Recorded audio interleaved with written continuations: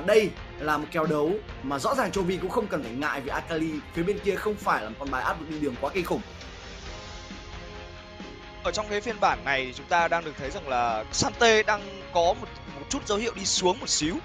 Cảm giác như không còn được thực sự ưa chuộng ở khu vực đường trên nữa. Thay vào đó chúng ta đã được nhìn thấy nhiều những Jax, Na, Fiora và Jace thì ván thiếu này DNDN chắc hẳn là phải tự tin như anh Mạnh đã chia sẻ, bởi vì là đây là con Sante chọn sau á. Jax là con tướng mà bên phía của huấn luyện viên Score đưa ra trước. Với Kassadin ở trong không chỉ là LCK mà là cả giai đoạn xếp hạng ở giai đoạn gần đây ở máy chủ Hàn Quốc cũng như là ở máy chủ Việt Nam nữa.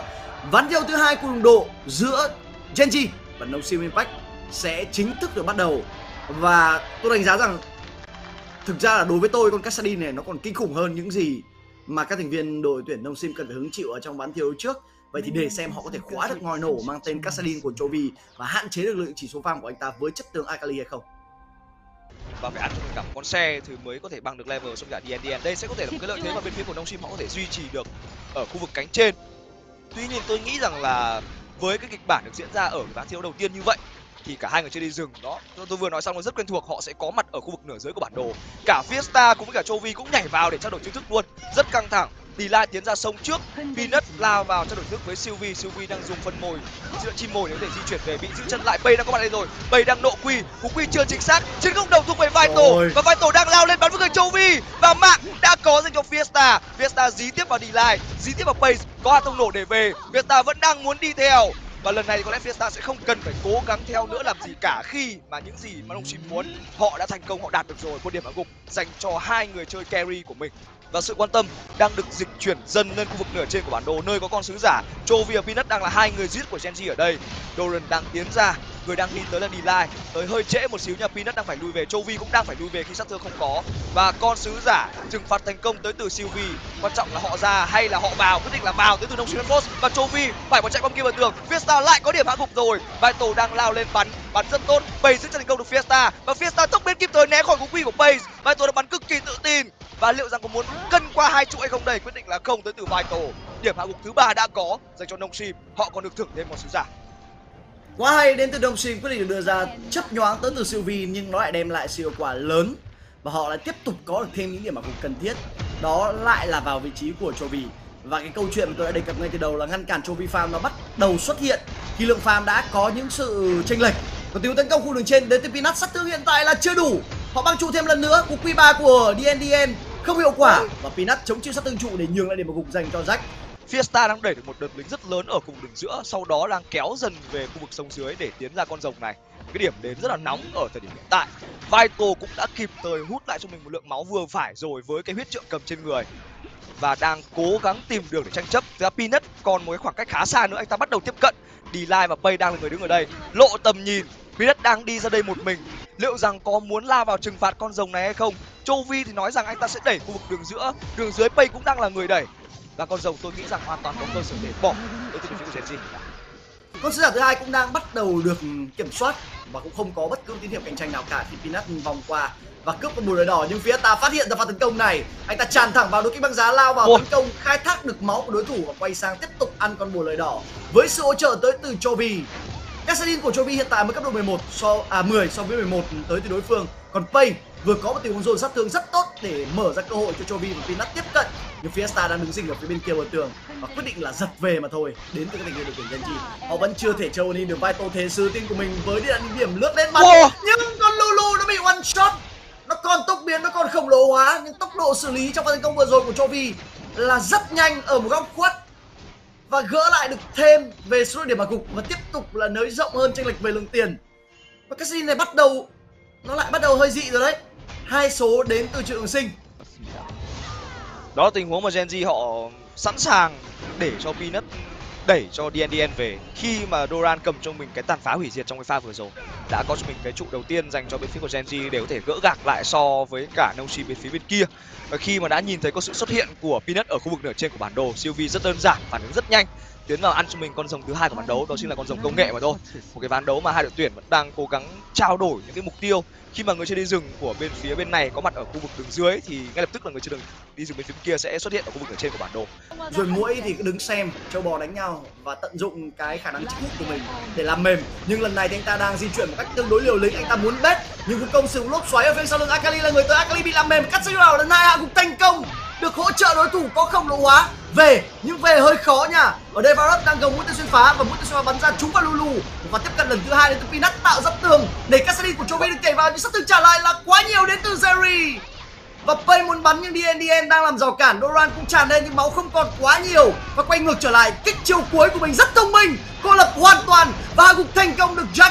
Lần chém của anh ta là chất lượng. Chovy đang muốn quẩy trong đội đối thủ. Anh ta còn một chút siêu máu, anh ta bị hạ gục. Nhưng Varus tranh thủ được cho mình cú double kill muốn truy đuổi theo một tên xuyên phá gồng bắn trúng nhưng sát thương là không đủ.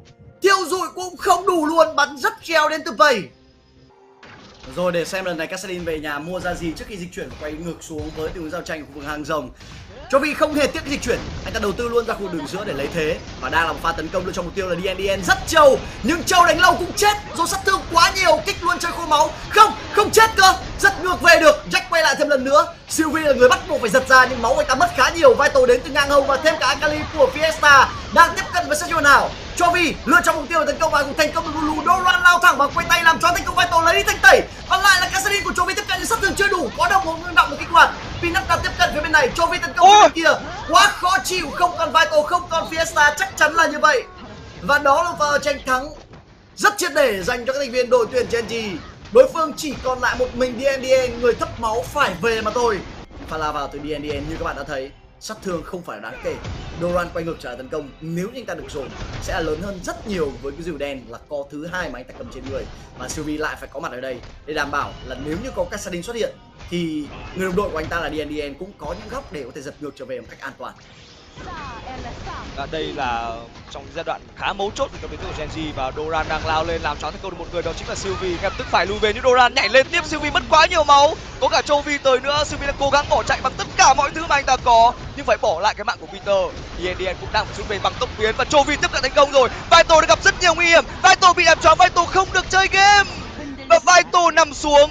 Thì DNDN cũng nằm xuống theo. Và lại chỉ còn một mình Fiesta trong tình huống này. Base, Chovy và Peanut đang muốn dí theo nhưng có lẽ không cần nữa. Và đó là bốn điểm ở gục dành cho Genji một tình huống giao tranh cực kỳ cực kỳ là hoàn hảo của họ và họ đang tiến thẳng lên khu vực trên bản đồ hướng tới con Baron. Và đây là đội hình liên tục nhảy đến từ bên phía các thành viên đội tuyển Genji khả năng truy đuổi của họ là quá cao. Muốn dùng chim bồi thoát cũng không được đối phương còn hư vô pháp còn tốc biến đuổi theo. DNDN bị cô lập và hai tình huống giao tranh liên tục khi mà Pay tung trượt những cú chiêu cuối dưới tội lỗi của mình. Chẳng sao cả nó vẫn là giành thắng. Bây giờ thì muốn tìm kiếm điểm solo kill. Cho vì gây rất nhiều sát thương vào Fiesta. Đầu tư sát chiêu nào để chạy? Có thêm Lulu cover trước mặt. Lướt qua tường đuổi luôn. Sợ gì không đuổi? thoát ra đuổi tiếp. Những vụ công tới á đuổi tiếp. Bị đánh á. Chạy luôn. Không có ôi đuổi tiếp thật. Và Chovy vẫn đang đuổi đến hết năng lượng bây giờ. Và anh ta vẫn còn đủ năng lượng sau khi anh ta nhận được lượng năng lượng tới từ cái điểm hồi phục từ diện trí tuệ và anh ta có đủ để có thể thoát về trước khả năng truy đuổi tới từ vũ công. Nó thấy sự bất lực đến từ các thành viên đội tuyển đông si ba quay một. Tưởng là không chuột cũng què thì cuối cùng họ mới là người bị mất người. Còn trong khi đó thì Cassadin cứ như vậy thoát về mà không cần phải đầu tư phép bổ trợ, cũng như là cái đồng hồ Catronia của mình bay đi vào phạm vi không có tầm nhìn. Vital bắn rất đau, tốc biến đuổi theo, rồi sát thương chết để. Vital còn một chút xíu máu, nhưng thắng là thắng và đó là một tình huống rình rập thành công đến từ xạ thủ của nông sim. Một đội hình mà không hẳn là đánh xuống cánh dưới tới từ bên phía của Genji nhưng họ vẫn nuôi xạ thủ thành công mà họ còn nuôi được cả đường giữa nuôi được cả đường trên nữa. Và nông sim họ đang phải tìm một cái cách nào đó để có thể mở giao tranh. Bắt được vào ai mới là vấn đề này? Bắt vào bay thì còn Chovy còn Doran. Bắt vào Doran thì Chovy và bay sẽ thoải mái xả sát thương. Rất khó để có thể bên phía nông sim họ có thể cố gắng tìm kiếm một mục tiêu nào đó. Đúng vậy. Và quả thật là một bài nhiều đồ ăn ui, cái mũi tên xuyên phá này. Sylvie chỉ còn lại nửa cây, lại là mũi tên xuyên phá và lần này Fiesta là người bị cấu. Cái thế giao tranh thậm chí nó có thể không xảy ra. Với sự chuẩn xác đến từ những pha mũi tên xuyên phá của con Varus nằm trong tay của Pay. Và bây giờ là thời điểm để họ tiến ra và sở hữu cho mình cái bộ lợi Baron. Tốc độ Baron của họ sẽ là tương đối nhanh với rất nhiều những nguồn sát thương. Và đối thủ thì không hề có bất cứ một tín hiệu nào cho chúng ta thấy là họ quan tâm tới việc là tranh chấp con Baron này cả lượng tiền chênh lệch 10.000 nó sẽ tiếp tục được giãn cách lên con số là hơn 11.000 tiền. Và thậm chí để cho Jax của Doran MVP trong bán thi đấu này với việc để cho anh ta solo và lát hit con Baron luôn. Thì liệu thực sự có phải là một cái POG dành cho Doran hay không? Các thành viên đội tuyển Gen G chơi quá chắc. Họ tiếp tục tiến ra mục tiêu tiếp theo là con rồng. Họ sẽ lấy về cho mình cái nguyên tố rồng lửa thứ ba. Và cái ngưỡng sát thương đầu ra của họ thì không thể nào đếm định được đúng là bên phía của Genji họ đang muốn bóp nghẹt hoàn toàn nông sim trong cái ván thiếu này luôn. Cái ván thi đấu thứ hai này thì đang hơi ờ, mất thời gian một xíu hơn so với cả ván thi đấu đầu tiên. Vẫn đang cực kỳ kiên nhẫn tới từ Genji ờ, họ hoàn toàn có cơ sở để có thể mở giao tranh. Nhưng giống như ván đấu đầu tiên, tình huống la vào trụ hơi quá đáng, họ đã phải bỏ lại rất nhiều mạng và họ đang muốn chơi chắc chắn ở trong ván đấu này. Dùng luôn chiêu cuối của mình, cấu máu thẳng vào tanker của đối phương. Những máu mất đi của DNDN không ít, chút xíu nào cả một tình huống bắt khoảnh khắc rất tốt tới từ siêu vì nhưng bắt xong rồi ai follow up? Ờ, và ai ngờ anh ta lao ra bắt nhưng anh ta lại là người bắt cóc phía sau lưng Akali của Fiesta đang đầu tư sát chiêu nào? Lần một lần hai cần phải tìm được đích đến nhưng Doran kích đồng hồ. Dùng vào đâu bây giờ? Dùng vào và hạ gục thành công Doran quy flash hơi quê từ Peanut. Không hất tung thành công được Fiesta khi đối phương cũng đầu tư tốc biến để né. Nhưng Genji đang có bốn người và Akali không sát chiêu nào phong ngữ kiểu gì? Sejuani của Peanut lao thẳng vào để giết đối phương kích luôn đồng hồ cơn thời gian cho Vi tới những hưu vô bộ pháp hay là những vũ điệu tango tới từ cho Vi đây? Kết thúc cái cặp trận đấu này với tỷ số 2-0 dành cho các thành viên đội tuyển Genji và đó lại một chiến thắng mãn nhãn nữa tới từ các thành viên đội tuyển Genji mặc dù ván thi đấu này nó không áp đảo bằng trận 1 nhưng xét về mức độ chuyên môn và cái quãng thời gian mà Genji tận dụng ở giai đoạn mid game thì nó lại là đầy tính chiến thuật.